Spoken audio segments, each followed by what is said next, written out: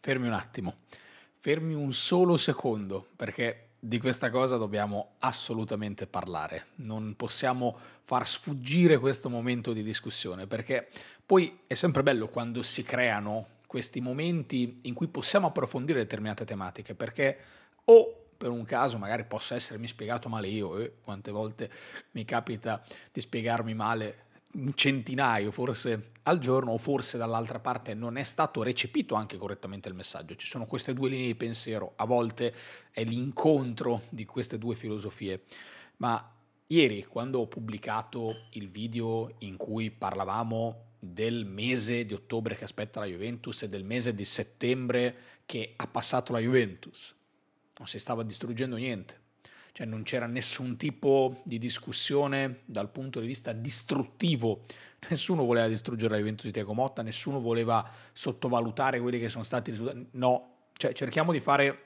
un passettino indietro, cerchiamo di spiegare meglio quella che è la situazione. La Juventus ha scelto un percorso differente rispetto all'Inter e al Napoli, che sono le altre due squadre, se vogliamo, un po' più di riferimento per il campionato italiano.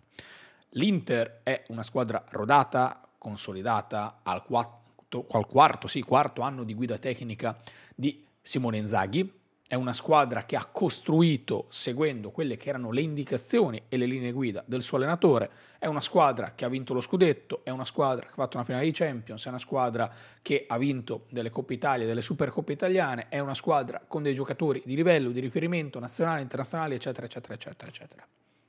Lasciamo da parte un attimo.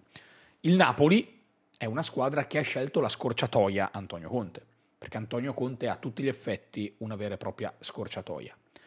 Quindi si va su Antonio Conte, si sa che saranno dei cicli brevi ma intensi, si sa che vorrà dei giocatori di un certo tipo, i suoi uomini, quelli di riferimento, tant'è che l'anno scorso quando parlavamo dell'erede di Osimen anche a tutti in the box o alla Bobo TV, facciamo sempre solo il nome di Lukaku, la gente diceva ma non c'è qualcun altro oltre Lukaku, ma se prendi Conte sai benissimo che vai a fare quei tipi di investimenti lì, vai a prendere gli uomini che lui conosce, gli uomini che cercano anche un pochettino di accelerare quello che può essere il processo di crescita di una squadra.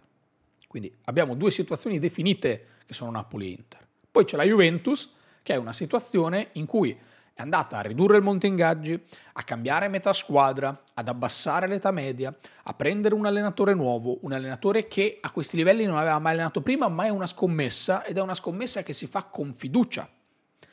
Quindi è ovvio che ai nastri di partenza la Juventus non possa essere considerata tanto quanto Napoli-Inter, perché da una parte c'è l'allenatore più vincente d'Italia in questo momento, Antonio Conte, e una squadra che, ripeto, al quarto anno di guida tecnica e che ha già vinto e che è campione d'Italia in carica. Questo significa che la Juve non può competere per traguardi o non può competere con Inter Napoli? Assolutamente no. Perché se ci mettiamo qui a dire che le squadre che iniziano subito un nuovo ciclo non possono competere con le altre perché sono più avanti per questi motivi, non stiamo parlando di calcio, non stiamo parlando di sport, stiamo a volte anche mettendo le mani avanti, che non significa che Juve debba vincere, e subito. Assolutamente no, Juve lo possa fare è un dato di fatto. Quando vi dico che per me il mese di settembre è stato un mese con degli errori, sto bocciando il progetto Tiago Motta, che sia chiaro, eh? che, che sia limpida questa cosa qui, perché non può corrispondere al vero, non è quello che è nella mia testa, nemmeno quello che volevo comunicare. Vi ripeto, magari mi sono espresso male io, ma non significa che la Juventus abbia fallito, che adesso ci sia un disastro, che, sia, che si stia preannunciando il disastro, assolutamente no. Ma, ma proprio per l'amor di Dio, cioè sarebbe veramente non comprendere tutto quello che ha fatto la Juventus in questi mesi e come è arrivata a questa situazione qua. Perché se la Juve arriva a questa situazione qua, lo fa con grande coraggio, con grandi scommesse.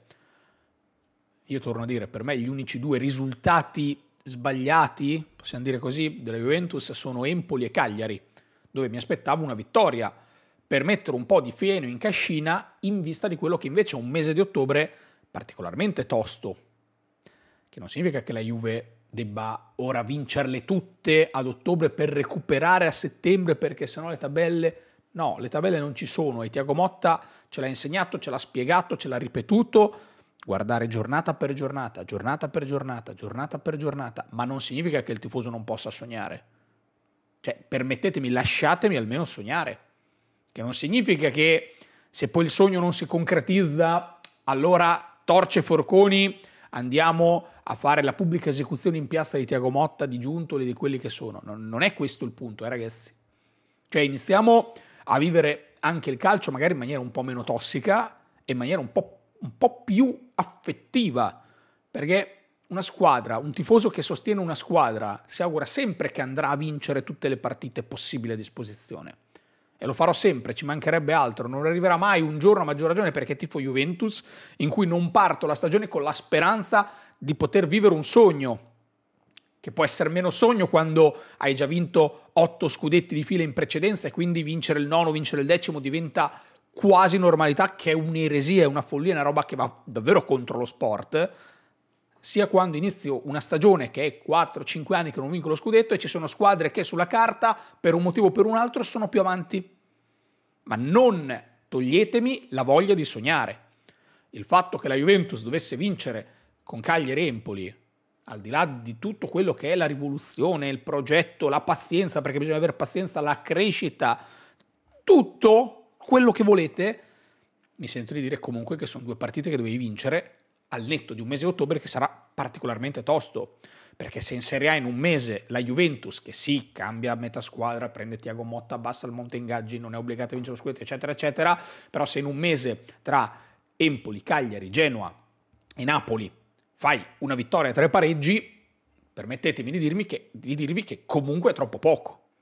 Poi in Champions siamo stati strepitosi, meravigliosi, ma il fatto che la Juventus stia iniziando qualcosa di nuovo non mette la Juventus al riparo da quelle che devono essere delle critiche costruttive. Cosa intendo per critiche costruttive? Al di là del fatto dei punti, poi bisogna guardare le prestazioni, perché la prestazione di Cagliari non è una prestazione da un punto, è diversa da quella di Empoli. Quella di Cagliari è una prestazione in cui è mancato il colpo del KO e allora quella è una cosa da migliorare e si collega a stretto filo, con un virlo conduttore veramente intrecciato, rosso, bellissimo, al fatto che la Juventus sta segnando troppi pochi gol, perché dopo sette giornate di Serie A la Juventus che si ritrova con un ottimo comunque piazzamento in classifica, perché la Juventus da quel punto di vista non è nei disastri, anzi la Juventus molto bene, anche Napoli e Inter appunto non stanno spingendo nemmeno quelle dietro, c'è sempre un po' una squadra che inciampa, che cade, che lascia i punti per strada, eccetera, eccetera. Però la Juventus ha segnato 10 gol in sette giornate 10 gol in 7 giornate sono pochi gol. E dire che gol in, 10 gol in 7 giornate sono pochi gol non significa bocciare il progetto, non significa fare dei video disfattisti, perché non è quello che ho fatto, eh, ragazzi. Attenzione, cioè, cioè, voglio specificarle queste cose perché poi se no si va a finire che eh, allora Toselli che era disfattista a settembre. Non, non, non è così. Si è semplicemente detto che nel mese di settembre si è sbagliato e io credo che questo sia un dato di fatto. Poi è ovvio che non si possa vincere tutte le partite sempre. Anche le partite magari un po' più facili sulla carta si possono perdere, si possono pareggiare, succede sempre, sempre successo e sempre succederà, non è quello il punto. In generale, se avessimo anche solo vinto la partita col Cagliari, sono davvero convinto che la Juventus oggi si ritroverebbe a respirare un'area diversa, ma internamente allo spogliatoio, eh? Cioè non pensiate che si dicono dopo il pareggio col Cagliari, vabbè dai, abbiamo iniziato un nuovo ciclo, vabbè dai, abbiamo abbassato il monte ingaggi, vabbè dai, abbiamo abbassato l'età media, vabbè dai, il Napoli a Conte, l'Inter è andato avanti, noi abbiamo scommesso su Motta, va bene così, non è così. Cioè, questo mettiamocelo in testa, perché non significa che dire A allora vada tutta dalla parte di A volte si fa per parlare, per parlare bisogna toccare tanti argomenti, bisogna toccare tanti punti e poi bisogna entrare all'interno delle analisi. Cioè io non ho niente da rimproverare oggi alla Juventus, a Tiago Motta, sta facendo un lavoro secondo me straordinario Tiago Motta a questo punto della stagione. È riuscito veramente a cambiare il modo di approcciare, di giocare la partita della Juventus e basta guardare la partita e, ci, e si accorge qualsiasi tifoso che è stato fatto qualcosa, c'è stata messa mano a quella squadra, è un dato di fatto ed è una roba anche banale da individuare. Poi entra in gioco tutto il resto, perché benissimo l'impianto, benissimo, poi Tiago Motta l'ha sempre detto, ogni giorno bisogna migliorare per essere migliori rispetto a ieri, ogni giorno migliori rispetto a ieri. E questo bisogna dare pazienza, eccetera, eccetera. Però permettetemi che dal punto di vista puramente del calendario, con un ottobre che avremo tosto, Inter, Lazio, la Champions, il derby, per me, per me, poi magari sbaglierò, in Serie A nel mese di settembre si è lasciato indietro un po' troppa roba. Questa è semplicemente l'analisi senza voler distruggere, ammutolire, eh, disintegrare, denigrare, d- d- d- disastro. No, non c'è il disastro nella Juventus, è un progetto interessantissimo, è un progetto agli albori, è un progetto appena nato, è un progetto che per me è una figata. Esco anche un pochettino, eh, per me è una figata il progetto della Juventus. Poi, ben consapevole del fatto che ci vuole tempo, ci vuole pazienza, gli altri hanno dei motivi in più per crederci. Non toglietemi il fatto che voglio sognare e che quindi determinate partite, se poi non finiscono nel modo in cui sulla carta dovrebbero andare, un pochettino di sangue amaro me lo faccio, ma ve lo torno a dire, non pensiate che i giocatori, Tiago Motta, Giunto, eccetera, eccetera, dopo il pareggio di Cagliari si siano detti, vabbè dai, siamo all'inizio, non è così, perché anche l'anno scorso che eravamo nettamente inferiori all'Inter come organico, non so quanto, c'erano delle distanze, però non so quanto nettamente, però va bene, ma anche quest'anno, eh, per me, mica solo l'anno scorso, anche quest'anno, ma dal punto di vista dell'impianto tattico, l'anno scorso c'era una voragine. Oggi invece dici ok, si può migliorare, arrivi a giocartela magari anche in altri modi anche l'anno scorso i ragazzi ci credevano. Eh. Quante interviste abbiamo sentito a Gatti, a Rabiot, eh, a Danilo, ma a Danilo forse meno, a Scesni. No, noi vogliamo vincere, noi vogliamo sognare, noi vogliamo arrivare lì. Anche Allegri stesso parlava di sogno, d'accordo? Va bene, mettetela come volete, chiamatelo come volete, però ci hanno sempre creduto. Cioè, quando sei la Juventus non puoi non crederci, stop. Poi non significa farlo, non significa che, che se pareggi col Cagliari è un disastro, no, non è un disastro, però è un passo falso è un errore di percorso, è una cosa che dovrai migliorare in vista delle prossime partite, semplicemente questo è. Però in generale, secondo me, se, se potessimo sottoporre Tiago Motta alla macchina della verità, ti direbbe sì, probabilmente nel mese di settembre abbia lasciato indietro troppi punti. Questa è la mia considerazione, in vista soprattutto dell'ottobre che abbiamo. Spero di essermi spiegato bene, meglio comunque rispetto al video precedente e quindi vi invito a fare la discussione qui sotto nei commenti, ad arricchirla perché magari possiamo fare questa serie di botte e risposta anche in vista di quello che sarà il ritorno della Serie A della Juventus, che poi sabato sera giochiamo una partita difficile con la Lazio, è già lì, perché poi eh, la crescita, il percorso, la programmazione, eh, la prestazione, il livello, la qualità, però poi tutto questo si traduce in 3 punti, 1 punto, 0 punti che vanno ad aggiungerci alla classifica.